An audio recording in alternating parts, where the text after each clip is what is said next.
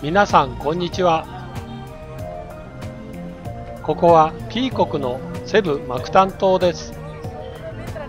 今日は平日で今は昼12時です。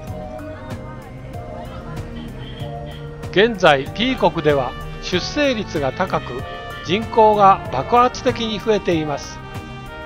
ここセブの小さなマクタン島でもそこら中子供だらけ。小学校も先生も足らなくなり午前と午後の2部制になっています。小学校の低学年は日本のような集団登校のシステムはありません。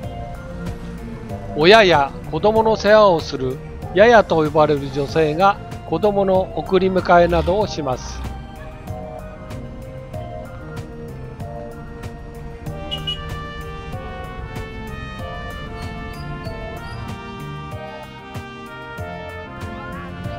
平日の昼12時は登校と下校で道路は大渋滞になります。この P 国の爆発的な人口増加はあらゆる消費も爆発的に増え大きなビジネスチャンスにもなっています。加えて橋や道路などの公共整備や電気通信などのインフラもどんどん進みアジアで遅れていた国から東南アジアで急成長する国へと変化しています。コロナ問題やロシアとウクライナの紛争など石油価格の上昇による物価高など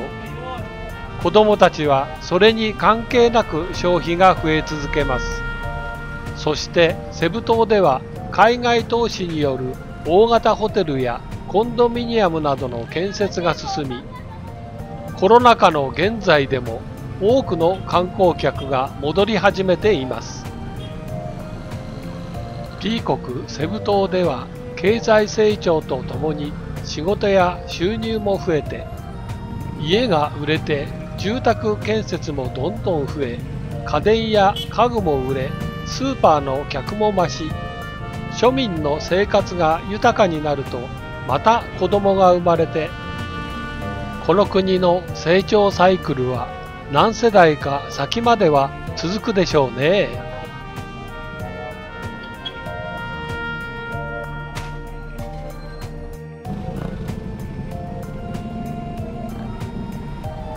セブに住み日々の移り変わりの速度は日本との違いを実感できます。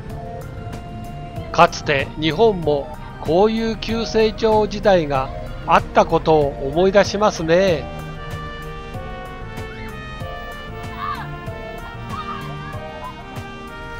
しかしまあセブ島はどこも子供だらけになりました。